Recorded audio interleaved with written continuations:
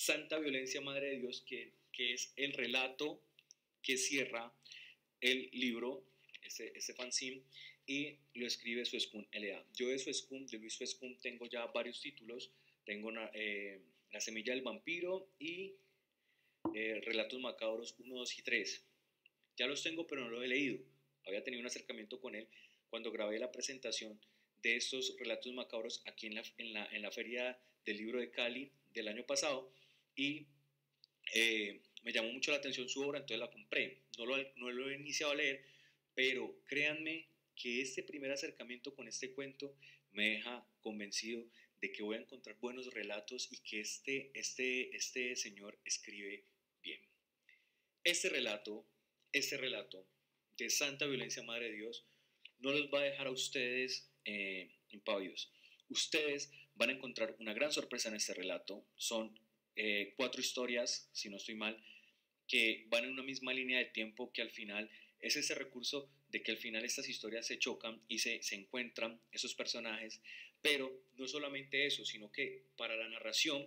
y para la, la línea de tiempo del relato, eh, Luis Escun utiliza esta fábula de Rin Rin Renacuajo muy bien creada, o sea, muy bien utilizada, mientras escuchamos esta canción de que la cual una madre de un, la madre de un personaje le cantaba el de niño, cómo va apareciendo eh, las partes de la fábula, asimismo va el desarrollo y encaja perfectamente lo que va pasando en la fábula, por decirlo así, con lo que va sucediendo en el relato. Es el relato más largo de esta edición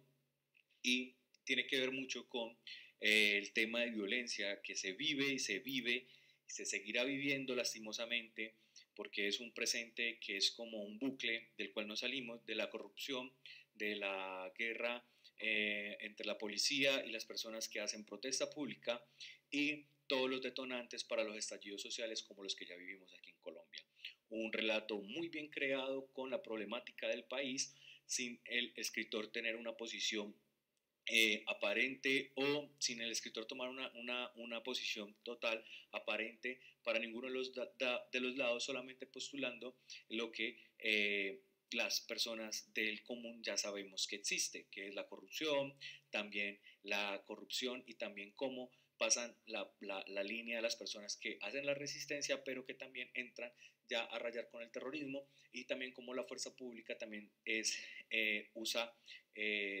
de más la fuerza, pero que también es de parte y parte. El protestante lo hace, la fuerza pública lo hace, entonces me parece muy inteligente la propuesta de Luis Escun, quien no toma parte como narrador, sino que solamente presenta las imágenes donde, donde eh, todo está como en un humedal de gasolina, donde cualquier,